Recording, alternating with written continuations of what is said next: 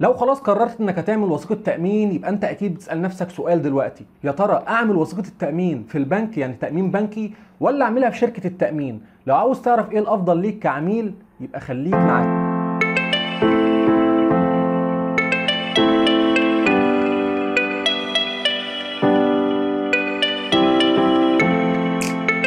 ازيكم مرة تانية أنا وجدي داوود ودي قناة زيتونة التأمين. لو أول مرة تشوفنا ومهتم بمجال التأمين أو حابب يكون ليك وثيقة تأمين يبقى لازم تشترك في القناة دلوقتي لأنك هتستفاد مننا جدا. وما تنساش لو عجبك الفيديو إنك تعمل لنا لايك علشان أكيد اللايك بتاعك هيفرحنا كتير وهيشجعنا إن إحنا نعمل فيديوهات أكتر وأكتر. وهيخلي الفيديو كمان ينتشر وغيرك هيشوفه لأن في غيرك أكيد مستنيه يوصل له. يلا بقى كده سريعا سريعا مش عايزين نطول عليكم. عايزين ندخل في الموضوع على طول. وفي نفس الوقت مش عايزك تقدم في الحلقة عشان ما ترجعش تقول لي أنا ما فهمتش حاجة. وفي الحلقة دي هتخليك تستغنى عن كلام تاني كتير. أنتوا عارفين طبعا أنا مش بطول عليك في الكلام. يلا بينا وخلينا فلو عاوز تفهم الحلقة دي كويس يبقى لازم ترجع للحلقة اللي فاتت. وقف هنا وارجع. هسيب لك الرابط في الوصف فوق صبعي هنا على طول. ادخل عليه. وهتفتح الحلقة وتتفرج عليها وبعد كده ارجع وكمل الحلقة هنا تاني. هتعامل معاك بقى في الحلقة دي إن أنت خلاص سمعت كويس وإن أنت خلاص قررت إنك هتعمل وثيقة التأمين وحاليا جت مرحلة التنفيذ. يا ترى هنفذ التأمين في البنك ولا في شركة التأمين مع المندوب المباشر؟ خلينا كده نبدأ كلامنا بمثال. لو حبيت تاكل كشري مثلا وقدامك مطعمين اتنين مطعم بيبيع فول وفلافل وكشري وفراخ وحواوشي ومطعم محل بيبيع كشري بس وطواجن وكلام من ده مكرونات. وحضرتك حابب تاكل من حد متخصص هتروح لمين؟ هتروح للي بيبيع كل حاجة ولا اللي بيبيع الحاجة اللي انت عايزها؟ كشري بس. زي ما بيقولوا عندنا هنا كده بالبلدي ادي العيش لخبازه المثال ده هنحتاجه بنفس الصورة دي لأن زمان كان البنك متخصص بس في الخدمات المالية انه يعني أفتح حساب هربط شهادة هربط وديعة أذون خزانة. كان بالتالي متخصص في الخدمات المالية بس وكانت شركة التأمين مهتمة بوثائق التأمين وكان كل واحد بيشتغل منفرد بعيدا عن الثاني. وكان زمان طبعا كان شركة التأمين لو حد بيسأل عن وثيقة التأمين فبيطلع يعملها في شركة التأمين على طول. وكان أي حاجة تخص الخدمات المالية كانت في البنك يعني عايز أفتح حساب عايز أربط وديعة عايز أربط شهادة اذون خزانة كان الكلام ده بيتم في البنك. لكن حاليا الشركة حبت توسع مجالها والبنك كمان حب يوسع مجاله. الشركة محتاجة إن هي تجيب شريحة عملاء أكبر والبنك محتاج عمولات ومحتاج فلوس داخله وطبعا لما هيعمل وثائق تأمين في البنك هسددها من خلال البنك من الحساب بتاعي الجاري اللي في اللي في البنك. فبالتالي بقى بقى البنك وسيلة خدمية للتأمين. يبقى بكده إن الشركة وصلت لشريحة أكبر من العملاء لأن طبعا عملاء البنك أكتر بكتير من شركات التأمين. ومش معقول إن شركة التأمين هتبقى جاية من بره تيجي تشتغل عندنا هنا في مصر هتعمل مقر لها في كل مركز مثلا.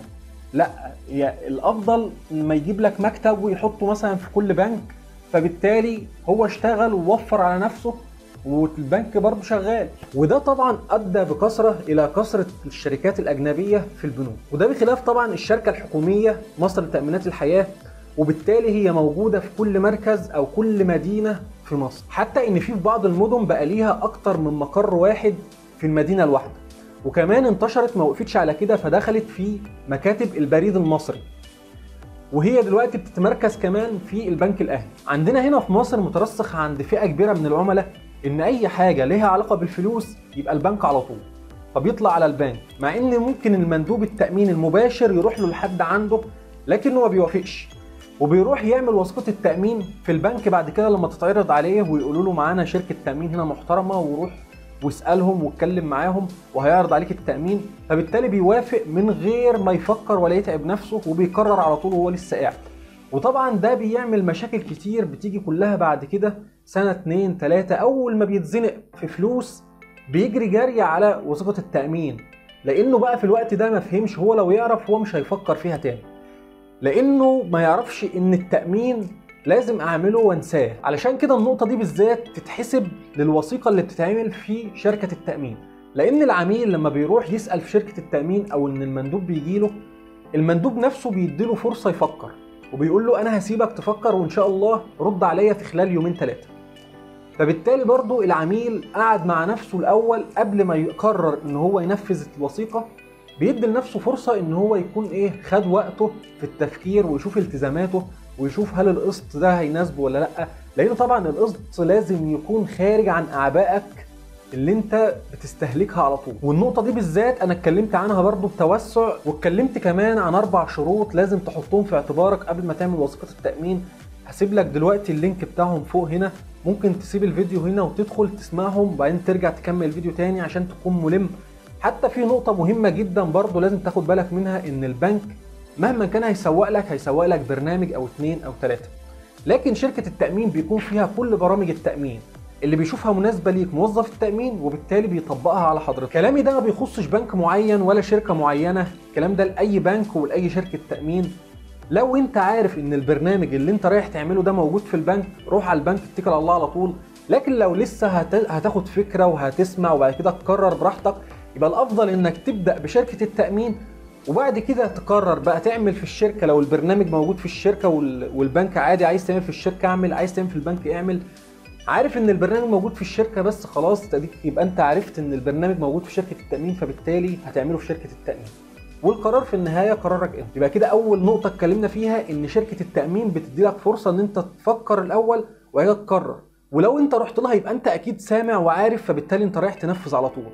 لكن لو أنت في البنك أكيد البنك أنت بتبقى رايح تعمل مثلا خدمة تانية وبعد كده بيوجهوك على شركة التأمين. فطبعا ما بتكونش عارف عنها أو مش سامع فلو قررت في نفس الوقت اعرف إن أنت مش هتكمل التامين للنهاية. طبعا إن أنت ممكن إن أنت تدي لنفسك فرصة إنك تفكر أو تقرر. لكن في أنا بتكلم عن الفئة اللي ما بتفكرش. تمام؟ لكن التأمين البنكي زيه زي شركة التأمين بالظبط مفيش أي حاجة مفيش أي مشاكل. لكن بشرط إن أنت تكون عارف أنت رايح تعمل إيه. ثالث نقطة معايا إن تعدد البرامج في شركات التأمين بينتج عنه كمان مندوب قوي جدا وموظف تأمين يساعدك قوي إن أنت تختار البرنامج المناسب ليك. في نقطة رابعة كمان مهمة جدا ممكن ما تهمش كل الناس لكنها أنا بشوفها مهمة جدا بحكم احتكاكي بالسوق دايما والتأمين المباشر مع العملاء إن في عميل بيحتاج تحفيز دايما وبيحتاج إن أنا أعمل له خصم. وبيحتاج إن أنا أجيب له خصم من الشركة فبالتالي مندوب التأمين المباشر بيكون له يعني في الحتة دي خبرة قوية قوي إن هو يفيد العميل فيها. والنقطة دي بالذات بترجع في إيد مندوب التأمين المباشر هو بس اللي بيقدر إن هو يقرر معاك يعمل لك خصم ولا لأ لأنه بيبص لها لحاجات كتير قوي قبل ما بيقرر وطبعا قبل ما تعمل وثيقة التأمين البنكي جوه البنك لازم تحط في اعتبارك كده كذا نقطة. أول حاجة إن التأمين اللي حضرتك عامله ملوش علاقة بالبنك. التأمين بيكون مع شركة التأمين. تاني حاجة إن القسط اللي حضرتك بتدفعه ما بتدفعوش للبنك بتدفعه لشركة التأمين.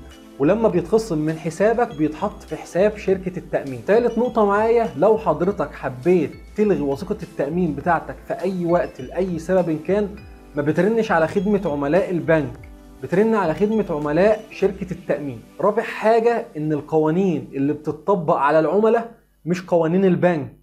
ملهاش أي علاقة بالبنك. القوانين دي بتخص شركة التأمين. في سؤال بقى هنا بيطرح نفسه. بس قبل ما أقول لك الإجابة لو أنت نسيت برضه تشترك في القناة اشترك في القناة. أنا بقى كعميل سمعت كل الكلام اللي فات وحلو قوي أعمل بقى الوثيقة فين؟ طب أنا سمعت دلوقتي من وجد داوود بتاع زيتونة التأمين. ورنيت عليه ونصحني وقال لي. ورنيت على فلان ونصحني وقال لي. وفلان قال لي إن البنك الأهلي فيه شركة تأمين حكومية فاروح هناك اضمن واحسن وخلاص. اعمل إيه؟ بص يا عميلي العزيز القرار قرارك. انت اللي بتقرر انت هتأمن فين. علشان بعد كده تبقى انت اللي متحمل كل المسؤولية لوحدك. بس ما أقدرش أقول لك انك تدخل اي شركة وانت مغمض عينك. لازم تفكر كويس في النقطة دي. بس هسألك سؤال وانت اللي هتعرف تقرر بعد كده لوحدك. ليه عمرك ما سمعت ان في عميل اجنبي جه أمن عندنا هنا في مصر في الشركة الأجنبية اللي هي أصلا من بلده ومقرها عنده هناك؟ ليه ما أمنش هنا وتعاقد في مصر؟ طب سيبك من دي. ليه المصري بيسيب الفرع بتاع الشركة الأجنبية اللي هنا في مصر ويروح يأمن في المقر الرئيسي؟ لما يكون هيأمن مثلا على الشركة بتاعته مثلا على الموظفين اللي عنده كلهم وكده ليه بيروح يأمن هناك؟ ما بيأمنش هنا في مصر. والأهم إنك تدي لنفسك فرصة إنك تفكر قبل ما تصدر أي قرار. وإن القسط اللي حضرتك هتدفعه في التأمين ما يكونش بيمثل أي عبء عليك بعد كده أو ممكن بعد سنتين ثلاثة لأن أقل مدة تأمين 10 سنوات وما ترجعش تقول عاوز أفصل التأمين وإن أنا كده هخسر. بس كده خلاص أنا كده خلصت الفيديو بتاعي. لو عجبك الفيديو ما تنساش تعمل لي لايك علشان اللايك بتاعك أكيد بيفرحني جدا وهيشجعني كمان بعد كده ان أعمل فيديوهات تاني. ولو ما عجبكش إيه؟ اعمل برضه لايك علشان اللي جاي بعد كده إن شاء الله هيعجبك. ولو نسيت تشترك في القناة أنا بفكرك تاني اشترك في القناة وفعل زر الجرس واعمل لايك. أشوفكم على خير بإذن الله. مع السلامة.